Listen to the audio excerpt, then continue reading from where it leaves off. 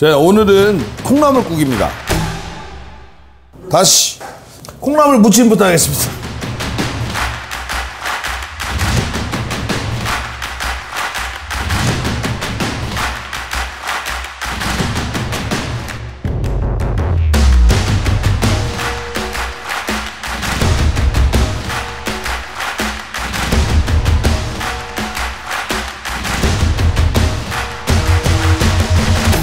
어우 냄새 좋다. 자 냄새 좋은데 먹어볼까요? 음. 항상 이 콩나물을 박스로 살 때쯤 되면 조금 뭐랄까 이 식당이 된 것 같죠. 콩나물 사시면 이렇게 박스로 사시면 그대로 키운 거라 딱 열어보시면 대가리가 다 위쪽으로 나와 있어요. 네. 자, 물을 부어주시고 물 양은 콩나물 지금 두 박스를 묻힐 거니까 콩나물 두 박스가 충분히 잠길 정도의 물 양이면 됩니다. 물 끓고 있는 동안에 콩나물 무침에 들어갈 재료 굉장히 간단하죠.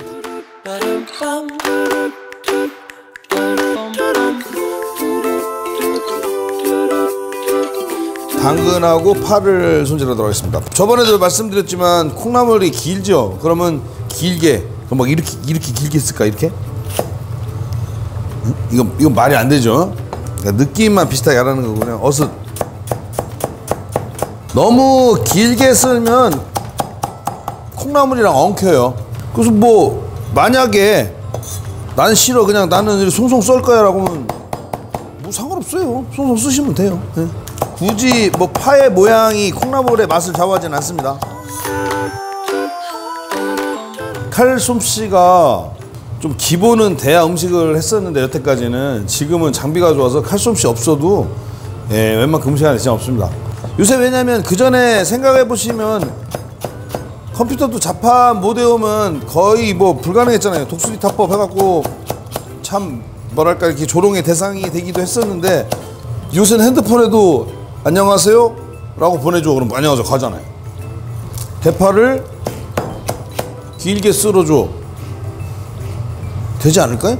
당근 5mm로 한 4cm 되게 채 썰어줘 하고 쑥 넣으면 지가 나올 수도 있지. 사람 일을 몰라요. 단 안 되는 건 콩나물 무침 맛있게 해줘. 그럼 아, 이 하고 나오겠지. 자, 그 다음에 당근. 당근은 집안에 지난번에 알려 드렸죠. 이렇게 안정적으로 가놓고 빨리 할 수도 있는데 천천히 하는 건 잘 안 보이실까봐 그래요. 그리고 지금 잠이 들 깨서 손 버질까봐.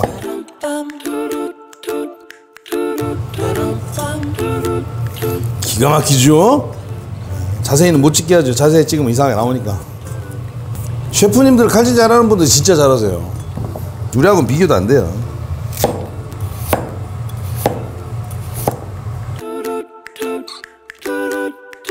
이 인도식으로 당근 갖고 디저트 만드는 거 있는데 그거 맛있는데 다음에 기회 되면 가르쳐 드릴게요. 쪽파도 생각난 김에 다 해놓으면 되지 뭐이 쪽파 갖고 파기름 내 갖고 국수에 먹으면 되게 맛있는데 그것도 다음에 해드리죠. 결국은 네, 계속 보시라는 얘기죠 자 기가 막히죠? 재료 손질 싹 끝나게 끓고 있죠?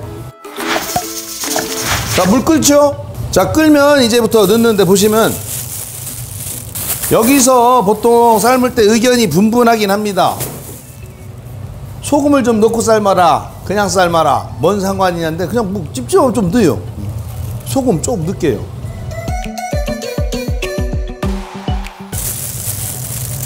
그대로 봉제해서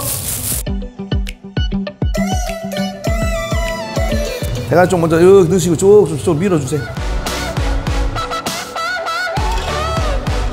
이 보시면 아시겠지만 이 봉지에 차에 넣고 키운 거예요. 구멍 뚫려서 그렇죠? 보시면 아시겠지만 요 대가리를 다 머리를 받고 있고 다 에, 발들 다 들고 있죠. 이 발 보면 혹시 오래된 기억이 있을지 모르겠지만 어머님들 콩나물 사오면 꼭 하시는 게 뭐냐면 요 뒤에 꽁지를 이렇게 딱 따죠 이렇게 근데 이게 어느 순간 이걸 안 하기 시작했죠. 왜 그렇게요? 한 십수년 전에 숙취제거제 한참 유행하면서 그때 우리가 몰랐던 용어를 알게 되죠. 아스파라긴산. 예, 숙취해소에 좋은 아스파라긴산. 아스파라긴산이 어디에 제일 많이 들어있느냐? 여기저기 많이 들어있지만 콩나물에 많이 들어있어서 그래서 우리가 술을 먹고 나면 콩나물국을 찾는 것이다. 술을 먹고 나면 콩나물국이 해장에 좋다. 그러면 자 어디가 아스파라긴산이 제일 많을까라는 얘기가 나왔었고 그때 나온 얘기가 요 꼬랑지 부분이 제일 많대요. 그러니까 여기서 콩나물 무침을 맛있어 보이게 할 거다라고 생각하면 이제 앉아갖고 뛰어겠죠 이렇게 뛰. 근데 나는 예, 우리 가게 오시는 손님들의 건강을 위해서 아스파라긴산을 가능한 보존하겠다. 라는 핑계로 쿠천차는 이걸 언제 다 띄어요. 핑계 핑계. 손님들이 아이 뭐예요 지저분해. 어허 손님 꼬랑지 아스파라긴산이 제일 많아요. 그래서 일부러 안 뛰는 거예요. 막 뛰고 싶지만 요새 뛰기 쉬워요. 뛰기 어떻게 쉬워? 이런 말빨은 좀 있어야 돼요. 아셨죠? 자 끓고 있는 사이에 이제 뭘 준비하냐면 물을 준비해줘. 건질 거 준비해 주시고. 자 이렇게 보시면 이건 아니거나는 먹어보면 알아요. 익었어요. 아시겠지만 특히 이 콩나물처럼 여린 채소들은 금방 오박국됩니다. 그렇기 때문에 바로 건져서 찬물로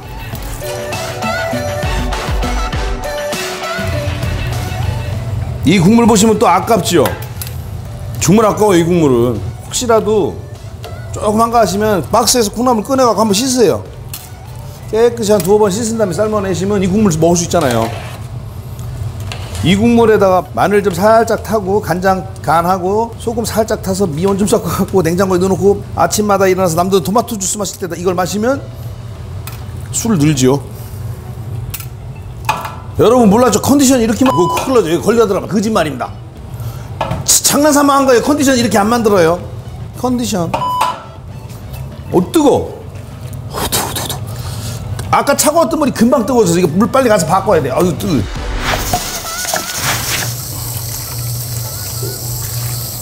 아까 저기서 살짝 덜 익었을 때 꺼내서 지금 이쪽으로 오면서 완전 익었어요.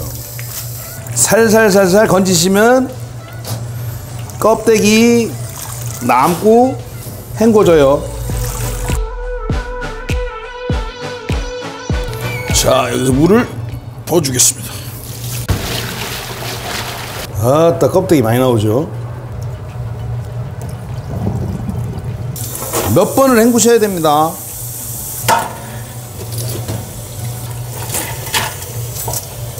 중요한 건 여기서 콩나물 만져보셔서 차갑게 식어야 돼요. 콩나물이 따뜻한 상태로 있으면 양념을 해놓고 금방 상합니다. 그 다음에 따뜻한 상태로 하면 금방 물러지고. 그래서 너 난 분명히 잘 삶았는데 콩나물이 왜 이렇게 됐지 하는 건 보통 사- 잘못된 거서 그럴 경우 많아요. 열기가 남아있으면 안 됩니다. 절대로 차가운 물에다가 충분히 헹궈주세요. 헹굴 때만 빡빡하면 큰일 납니다. 살살살살.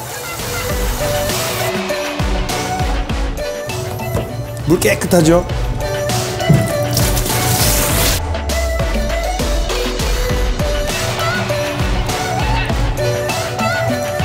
아, 요때가 마지막 요때가 제일 짜증나요. 에이씨 확 버려버릴까? 건져. 왜냐면 이러, 이러면 벌써 반찬 밑반찬 한 접시 두 접시 날아가는 거거든요. 여기서 사실 원가율 나오는 건데. 이거 되게 귀찮아요. 마지막 껍데기들이랑 막 섞였을 때 이거 버리면 무조건 한 접시 그냥 버려지는 거예요. 콩나물 무침. 여기에 있는 콩나물 하나하나를 우리 새끼들이라고 한번 생각하면 다 건져내주고 싶죠? 근데 이건 있어요. 요거를 다 내 새끼들이라고 생각하고 하나하나 건져내려면 일찍 나와야 돼요. 자, 다 됐습니다. 아이고. 콩나물 삶기 클리어. 자, 이제 콩나물도 다 삶았고 한번 무쳐볼게요.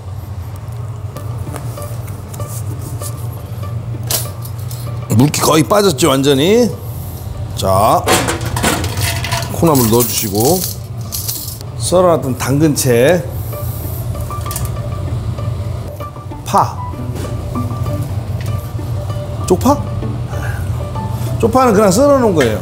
콩나물 무침도 하얗게 무치는 방법이 있고 고춧가루 넣고 무치는 방법이 있습니다. 그러니까 이거는 제가 책에는 고춧가루를 넣고 무칠 때는 쪽파를 넣고 하시는 게 낫다라고 했는데 진짜 상관없어요, 이건. 여기다 이 파 대신 쪽파가 쌀 때는 쪽파를 넣으세요. 그러니까 그것도 하나의 손님한테 나가는 요령입니다. 그때그때 식재료의 가격을 잘 따져보셔서 괜찮은 가격을 잘 조합하셔서 반찬 만들면 반찬이 무궁무진해져요. 아셨죠? 다음 계속 누누이 말씀드릴게요. 자, 여기 뜨거우니까 이쪽에서 할게요. 이렇게 해놓은 다음에 자, 그럼 여기서 필요 없는 게 고춧가루하고 쪽파는 안 쓰겠죠? 매콤한 걸 하고 싶으면 고춧가루 쓰시면 돼요. 쪽파 없으면 안 쓰셔도 돼요. 그냥 고춧가루만 넣으면 빨간 게 되는 거고. 마늘 중요합니다. 마늘. 마늘. 자, 여기서 마늘 넣는데 해외에 계신 동포 여러분, 이런 마늘 안 팔아요. 그렇죠? LA나 이런 데 한인 마트 있는 데 가면 이렇게 기계로 이게, 이게 어떤 어떤 기계냐면 이렇게 갈아서 쭈르륵 나오는 거예요. 그거는 이, 이게 이 입자가 되지만 대부분은 믹서에서 휑 갈아서 완전 그거 쓰면 어쩔 수 없어요. 그거 쓰세요. 예. 이거 없으면 그거 쓰셔도 되니까 그거 쓰시고 양은 좀 조절하세요. 대신 이게 씹는 맛이 좀 부족해질 수 있어요. 그렇게 갈아서 쓰시면. 그렇다고 또 어떤 분들은 통마늘 사다가 이렇게 다다다다닥 치거나 이 food processor 돌리잖아요. 차라리 food processor로 돌려가고 조금 입자가 있게 가는 게 나을 수도 있습니다. 자, 그 다음 마늘의 양은 지금 써드린 것보다 조금 더 넣으셔도 됩니다. 다음에 소금. 그렇고 설설설설 섞어줄 건데 여기서 여러분들 섞을 때 치대면 큰일 납니다. 들어서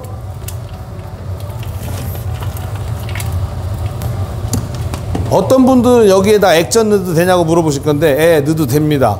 하지만 액젓을 안 넣고 간장도 넣어도 되는데 안 넣는 이유는 그러면 약간 물기가 많이 생겨요. 그걸 감안하시고 하실 거면 액젓이나 간장 쓰셔도 됩니다. 자 여기서 참기름 참기름 특히 이제 우리나라는 괜찮은데 외국에 계신 분들은 참기름 구하기 쉽지 않을 수도 있어요. 특히 미국 쪽에서 참기름 구하시면 아마 중국 마트나 이런 데서 구하시는데 한국에 수입한 참기름은 괜찮은데 보통 중국 식당에서 쓰는 참기름은 저희보다 향이 약합니다. 나쁜 걸 써서 그러는 게 아니라 우리는 참기름 자체를 짤 때 깨를 한참 볶아요 일부러. 고소하면서 굉장히 많이 내고 일본이나 이런 데들은 참기름을 튀김용으로도 쓰기 때문에 그렇게 오래 안 볶습니다.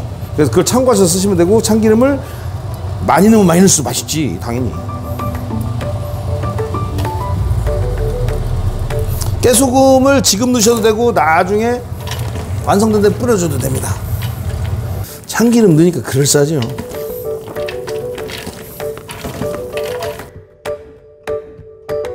여기서 미원. 자 보세요. 이, 이 많은 양 이것밖에 안 씁니다. 제가 이걸 자꾸 보여드리는 이유는 많이 쓸 필요 없다는 걸 보여드리려고 그래요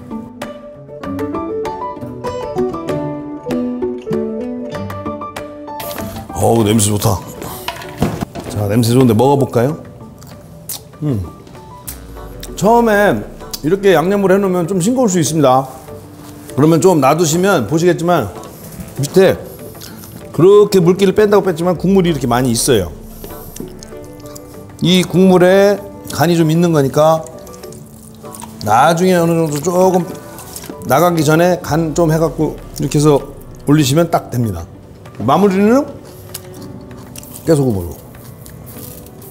참고로 참 각 가정에서 쓰실 때 이 어떤 소금을 쓰느냐, 어떤 간장을 쓰느냐에 따라서 간이 틀릴 수가 있으니까 간은 마지막에 최종적으로 본인이 맞춰보세요.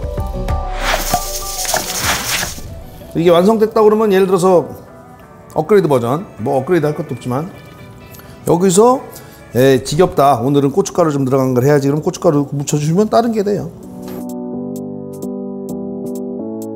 그래서 아까 얘기한 대로 참고 삼아서 쪽파를 쓰겠다.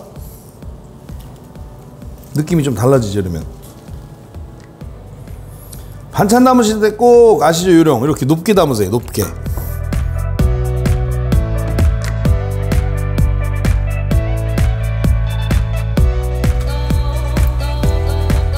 보셨죠? 그래서 여기서 버전을 업그레이드 시키는 방법 고춧가루 하나만 갖고도 왔다 갔다 할 수 있는데 여러 가지 있습니다. 여기서 뭐 고추를 좀 썰어서 넣을 수도 있고 양파를 넣을 수도 있고 새송이 버섯을 살짝 데쳐서 넣어도 되고 뭐든지 다 됩니다. 그러니까 얼마든지 여러분들이 상상하고 이 기본을 내신다면은 up 버전들이 가능하니까 제발 해보시고 나서 올리십시오. 부탁드립니다. 화이팅 콩나물 무침으로 맛있는 반찬 좀 해서 대접해 보세요.